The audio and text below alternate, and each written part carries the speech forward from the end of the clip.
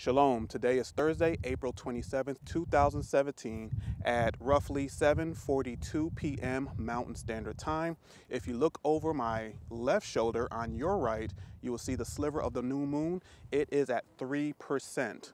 So today marks the beginning of the second biblical month, Ziv. Thank you for watching New Moon Report and Shalom.